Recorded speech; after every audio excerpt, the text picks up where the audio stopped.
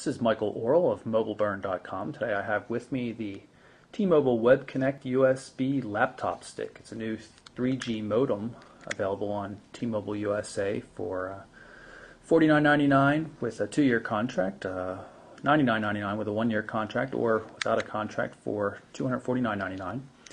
The tariff it runs on currently currently runs about uh, $60, $59.99 a month, which is pretty steep considering that Verizon and Sprint and AT&T offer similar price plans for a much more extensive 3G network.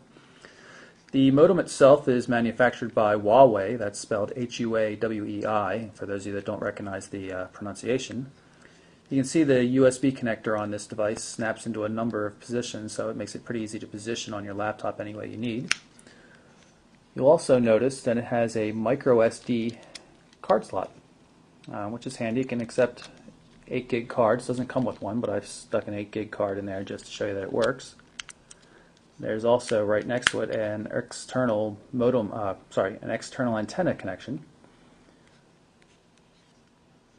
The device actually has its own memory built into it, which it stores its own drivers. So the cool thing is you plug this into your laptop, you know, Windows XP or Vista, uh, Mac support's coming later, but you plug it into your laptop and it shows up as a CD drive and automatically boots up the software and runs it and installs it so you, don't have to be driving any, um, dragging any you know, driver CDs around with you or anything like that. Pretty cool. I had it up and running in about two minutes time. It manages your Wi-Fi connections in addition to the 3G connection.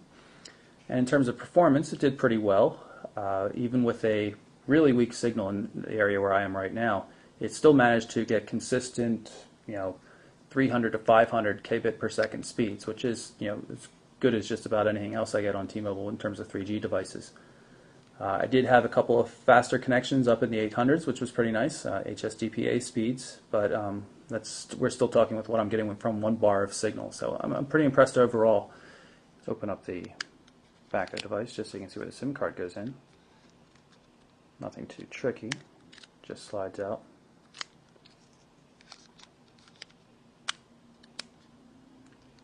And just because I find it a bit entertaining, I thought I'd show you the Web Connect next to a Sony Ericsson TM506. Um, this the TM506 was Sony Ericsson's first HSDPA device for T-Mobile, and they have a very similar color scheme. You can even see in the profile.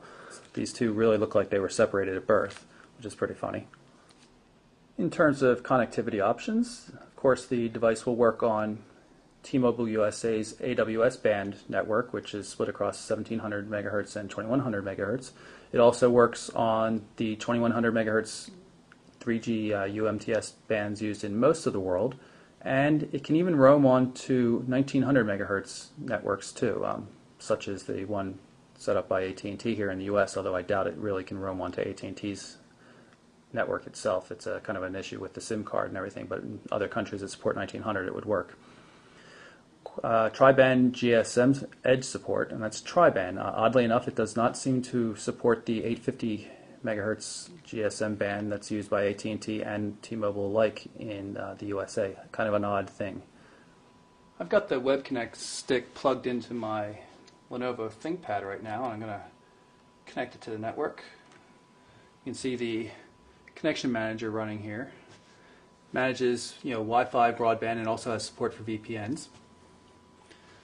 We are now connected, so I'm going to pull up this speed test on, from DSLReports.com. We're going to pull down a one megabyte file, see how quickly it moves. You can see right here, if you look at it, we've got one bar of signal, so it's a really weak signal that we've got now. And yet we're still probably going to get somewhere around 500 kbits per second. Well, not even better than that, 654. So not too bad considering the situation. I mean, the antenna inside the Web Connect seems to be pretty good. Uh, you can also see that there's support for you know, different APNs on the network. The, this is the epc.tmobile.com APN. This is internet2.voicestream.com, and this is internet3.voicestream.com for those of you that know what that means. And of course it will support your Wi-Fi connections. I've got Wi-Fi disabled just so it doesn't pick up the office network. Um, and you can use this to you know search and see which networks are available, and there's also a T-Mobile hotspot locator built into the device, so you don't have to go anywhere.